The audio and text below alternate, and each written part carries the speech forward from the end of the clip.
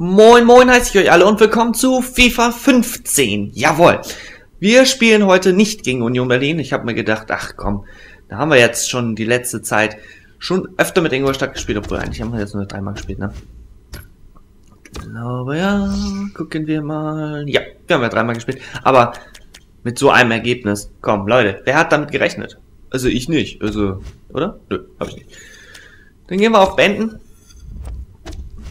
Ist recht, weil ich mir, weil man sich das auch angucken muss. Also, äh, unglaublich. Also 7-3, es ist unfassbar. Da steht's 7 zu 3.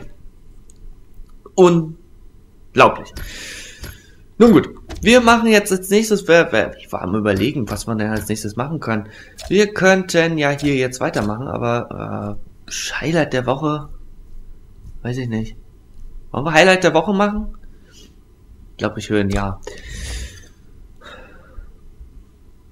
Ich glaube, ich höre ein Ja. Ich glaube, ich höre ein Ja. Ich weiß es aber nicht. Das ist ja die große Frage. So. Was ist denn überhaupt Highlight der Woche? Möchte ich mal gucken. So. Da, da, da. Seht ihr gleich, wie spät es wieder ist. So spät nämlich. Und deswegen ist auch bei mir momentan keiner online. Mhm. Okay, also, was haben wir denn heute? Wir haben Griechenland gegen Nordirland. 2-0 Rückstand, alter Falter. Ja, das Portugal-Spiel, ne, wo Cristiano Ronaldo dann das doch urplötzlich gemacht hat. Ähm, sonst haben wir hier Spiele. Ja, das da, also wer, wer sich das Spiel angeguckt hat in Reality, der weiß, wie es ausgegangen ist. Ich auch. Ich weiß es auch, äh, scheinen allerdings Formwunden zu haben. Mhm. Wer so hoch verliert, der darf den Abschluss nicht wundern, weswegen die Form nicht da ist. Ähm ja, aber Manchester City ist halt ein Top-Team, ne? Also, machen wir das? Weiß ich nicht. Das sind äh, 600 Punkte, ne? 700. Wir machen das mal auf Halbprofi, oder? Ja, komm, hau raus. Hau raus. Hau raus. Gut, wir spielen gegen Dänemark. Wir haben nicht allzu viel Zeit. Mal gucken, ob wir das überhaupt schaffen. Ah, wir haben Cristiano Ronaldo. Also, eigentlich dürfte da jetzt hier nichts... Oh, hey. Eigentlich dürfte da jetzt hier nichts äh, schief gehen. Habe ich das damals nicht gemacht? Bumm und... Bumm und... Bumm. Tja. Gucken wir mal. Ja, vier Platz. Würde ich mal sagen. Reicht. Gibt ein schlechter. Äh, mehrere schlechter. Egal, los geht's. Willkommen aus der EM-Qualifikation. Heute heißt die Qualifikation des Spiels zwischen Dänemark und Portugal.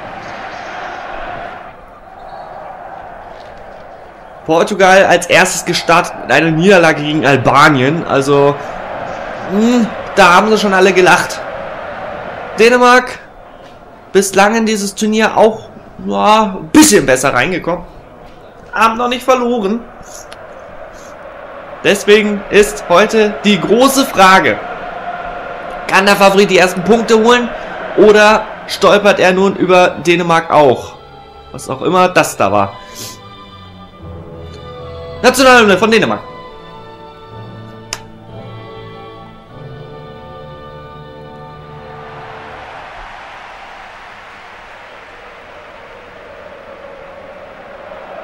Portugiesische hören wir irgendwie leider nicht. Naja. Aber warum der Torhüter da ohne Kopf steht, ich weiß es nicht. Wahrscheinlich, wahrscheinlich von irgendwelchen Grafiken, ähm, würde ich mal sagen, betroffen. Der Keeper ohne Kopf. Naja. Auch interessant.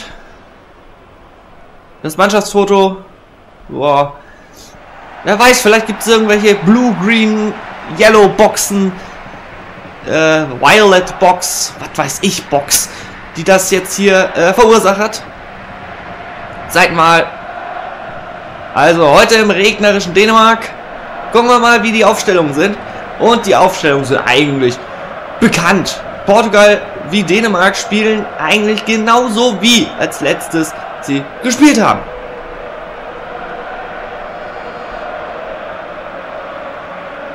Ja, leider können wir die Aufstellung hier nicht sehen, aber im Endeffekt sie spielen genauso wie die letzten Mal gespielt haben.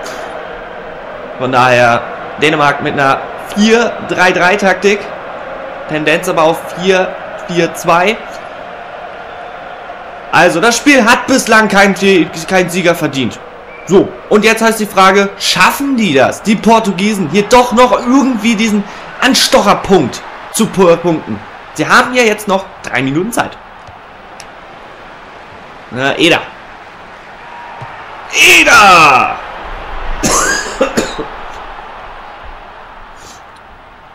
Der Maskentorhüter, ja, am Anfang des Spiels noch gemeint, äh, der hat ja gar keinen Kopf. Ja, wahrscheinlich liegt es einfach daran, dass er die Maske trägt. Gruselig, gruselig.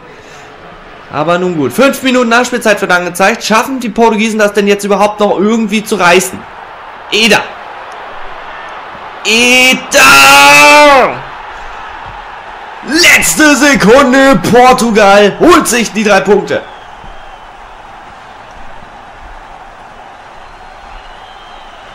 Dänemark hat gut dagegen gehalten im gesamten Spiel. Aber jetzt hat der Eder getroffen. 1 zu 0.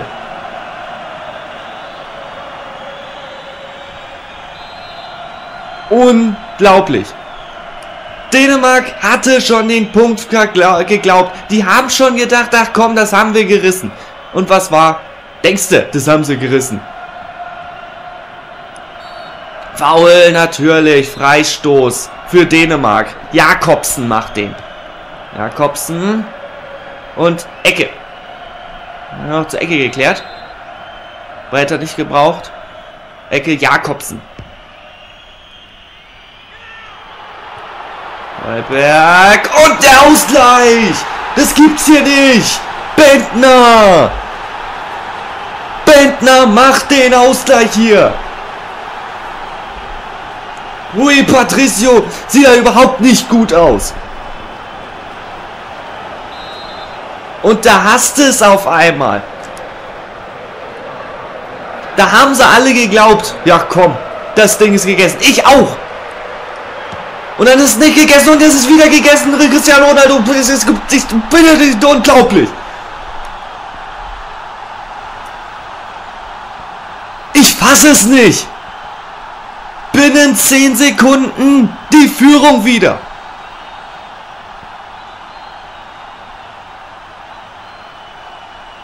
Ich kann es nicht fassen. Unglaublich.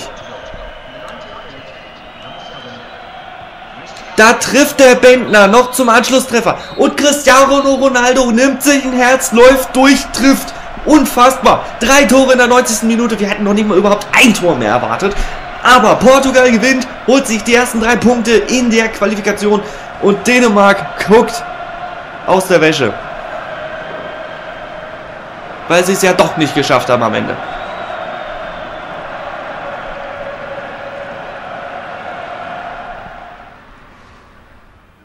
Na. So schnell kann auch eine Aufgabe gehen. Der kopflose Torhüter. Wenn ich die Teile hätte benennen müssen, hätte ich den jetzt so benannt. Ja, ja. Kopflose Torhüter. Also, das ist ja wahrscheinlich ein schönes Back, so ein schönes Back, äh, schönes Back, schönes Back, Backe, Backe, Kuchen. Nein. Ach, nee. Ein Back, ein Back, ein Back, Back, Back, Back, Back. So, wir haben die, wir haben die 700 Punkte, werden uns da oben gut geschrieben. Ja, haben wir die Challenge der Woche geschafft. Yes. Ähm, die letzten Challenge der Challenge der Wochen haben wir ja immer nicht gemacht. Ähm, einfach aus einem einfachen Grund, weil ich ja halt relativ viel voraufzeichne. Deswegen können wir nicht machen. So, das Turnier wurde, äh, wurde bejaht. Ähm, Das freut mich. Das freut mich. Ich werde mir jetzt demnächst dann äh, überlegen, wie ich das hochlade. Äh, ob ihr, also wie, also ob ist klar, aber wie.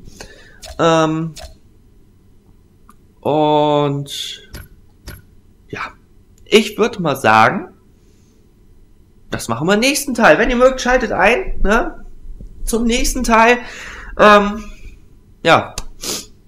Ich würde wahrscheinlich, warte mal, das ist ja die große schwierige jetzt Frage. Stimmt, das ist die Frage des Tages schon fast würdig. Äh, aber okay, na, wir fragen die. Die Frage des Tages ist ja eigentlich dann die Frage, gut, dass sie kurz vor Ende noch gestellt wird. Ich habe sie nicht vergessen. Die Frage des Tages ist jetzt eigentlich die, im Turnier. Wie soll das Turnier ablaufen? Soll das beispielsweise jeden Mittwoch sein, jeden Samstag sein, jeden, ne? Das ist die Frage. Jeden Tag. Bei jeden Tag ist es ja so, dass einige vielleicht nicht mittippen können. Obwohl, doch. Ähm, äh, das auch mit den Ergebnissen ist das so, wenn der Teil hochgeladen ist. Ne, der, der, der FIFA wird ja mal um 15.30 Uhr hochgeladen. Also, außer YouTube sagt ja nein. Ähm, wird er um 15.30 Uhr hochgeladen, würde ich dann halt mal sagen, so gegen 18 Uhr werde ich dann die Ergebnisse bei Kicktip eintragen, ne, so man, dass man halt noch die Möglichkeit hat, oh, voll Spannung und so. Ähm, ja, das ist die große Frage. Wann sollen wir denn dieses Turnier machen, damit wir bei Kicktip das ungefähr auf gleicher Höhe haben? Ja, das heißt also, wenn wir zum Beispiel äh, Anfang November anfangen, am 1. November und dann am 8. November und so weiter und so weiter. Ne? Es gibt insgesamt, da wird, oh, ich schluck auf ohne Ende, ähm, da wir aktuell, glaube ich, 20 Mannschaften haben, haben wir 38 Spieltage. Ähm, das heißt, an 38 verschiedenen Wochen vielleicht ein bisschen zu viel des Guten, aber vielleicht auch nicht. So, weil dann müsste ich ja dementsprechend dann auch reagieren mit dem äh, Spielen und Abspeichern und hast nicht gesehen und lalalala. Ne? Wisst ihr Bescheid? Müssten wir dann immer hin und her switchen. Also, das ist die Frage des Tages. Wann sollen wir denn unser Turnier immer machen? Sollen wir es wirklich jeden Tag einmal durch, zack, Turnier ist vorbei? Oder sollten wir das so machen, dass das halt ein bisschen Abstand hat, dass diejenigen Zeit haben, ja, okay, hm, Tipp heute so, weil, ne, weiß ich nicht. Also, wir sehen uns nächstes Mal wieder, wenn ihr mögt, schaltet ein, wenn nicht, dann nicht bis dahin, macht's gut.